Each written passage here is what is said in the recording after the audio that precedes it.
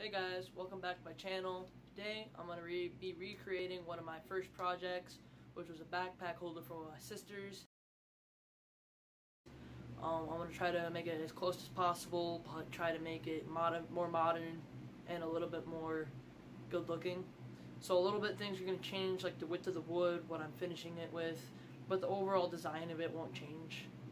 And then, yeah, I'll show you comparison pictures. So, stay tuned. Okay, so here I am measuring the board to 7 inches, which is going to be the width of it. And I'm just gonna wear it off.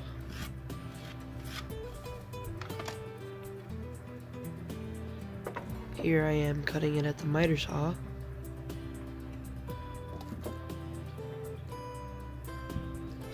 One thing I will note is that um, the first one I used pine or white wood.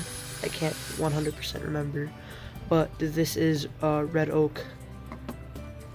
Here I am trying to find the center of the board so that I can drill a hole for the dowel.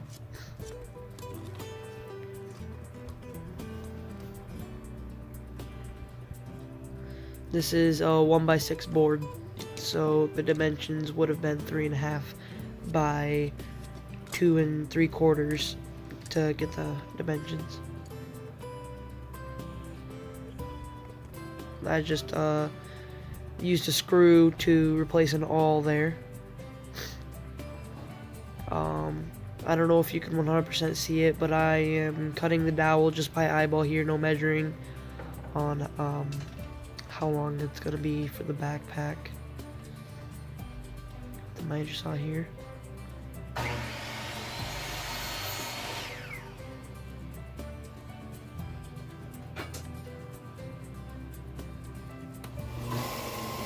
Uh, I took it over to the belt sander so I could get a flat edge on it. That way the backpack don't slide around too much.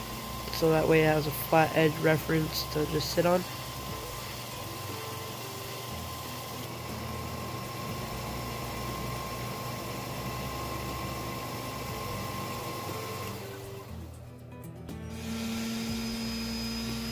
Here I am sanding off the pencil lines. Also taking off some of that top fur off the wood.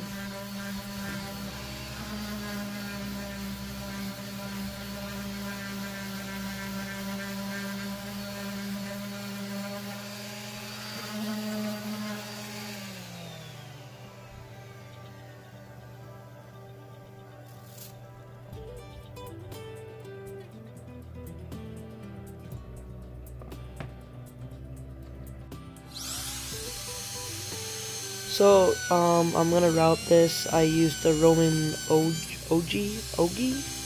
Um, I don't know, but it's kind of like a round over, only fancier. Um, mind you that I am a very big noob when it comes to routing. This is my very first router and the second project I've ever used a router on. So, um, mind the burn marks and the occasional um, hair out. Um, I would say I did pretty good for my second time ever using a router. Um, I will say that my piece looks a lot better using that router. Whether or not I did a perfect job or not, it, it does look better in my eyes.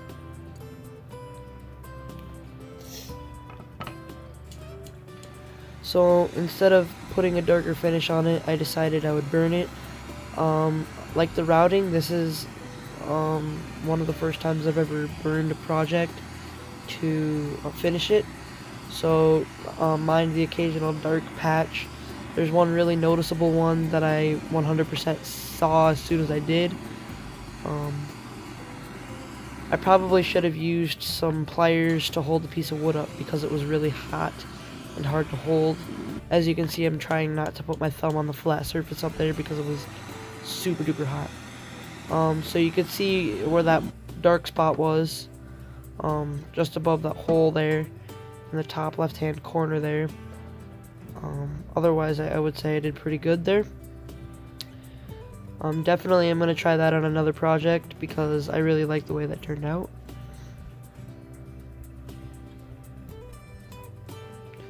So I'm going to be using some Howard uh, beeswax to give it a little glow. Um, I really like the look of this. I like the smell of it. Um, this is also known as orange oil. It smells like a citrus fruit.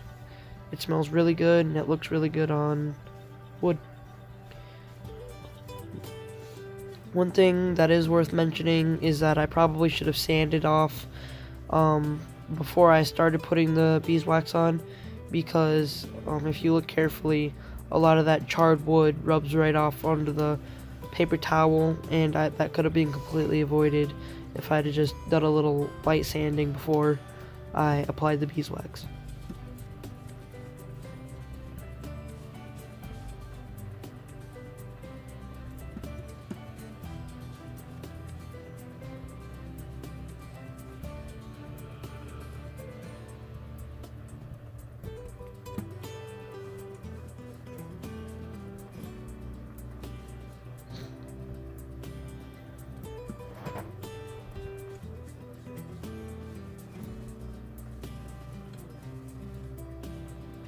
In the end, the piece looks pretty good.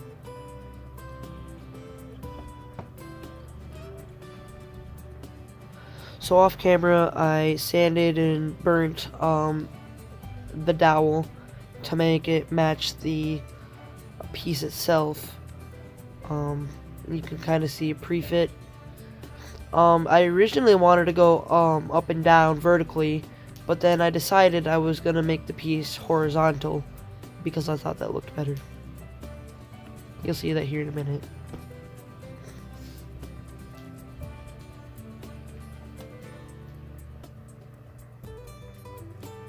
So I'm just gonna glue this dowel in. I'm using Titebond 2.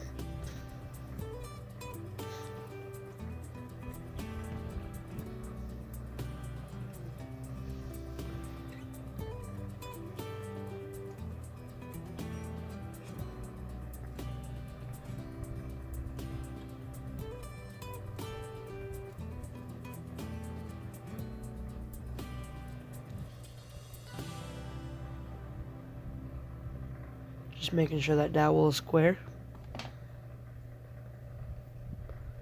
And I'm not really concerned about using clamps um, because I really don't trust. I really trust that it's not gonna uh, fall out. But um, if it ever does, it'll be okay because I can just glue it back in or make another dowel piece to fit in it.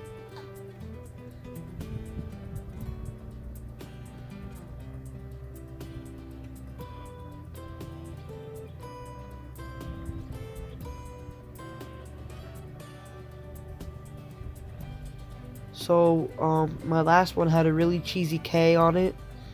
So this one's gonna have a really cheesy K on it. Um, some may say that it ruins the piece. I, was, I would say that it finishes it. I do not have a paintbrush capable of uh, making letters that small, so uh, Kreg Outdoor two and a half inch screw is gonna have to work.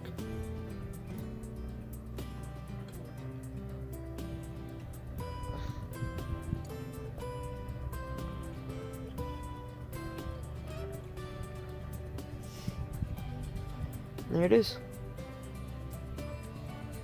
Tell me what you think in the comments below. Uh, like and subscribe if you enjoyed the video.